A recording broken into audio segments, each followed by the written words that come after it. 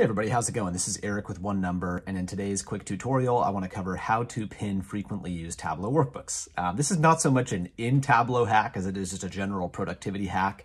Uh, this may be unique to Microsoft, so if you're using a, a different um, application on your computer, you know, uh, you may need to adjust this.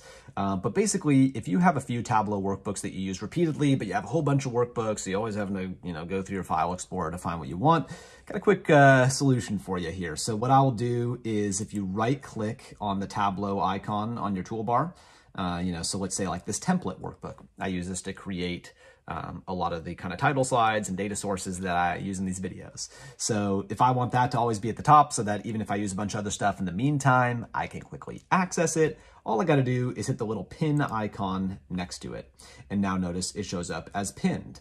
And anytime that I, you know, go to open Tableau going forward uh, with a right click, I I just left clicked on it. So it just pulled up the window that's already open, but if I right click on it, uh, it just shows up at the top. Uh, be aware that this may change if you um, if you update Tableau to a new version, you may have to pin workbooks again, uh, but hopefully this helps you save time of uh, messing around trying to navigate through all of your files. So uh, thanks for checking this video out. Look forward to catching you on another tutorial here soon.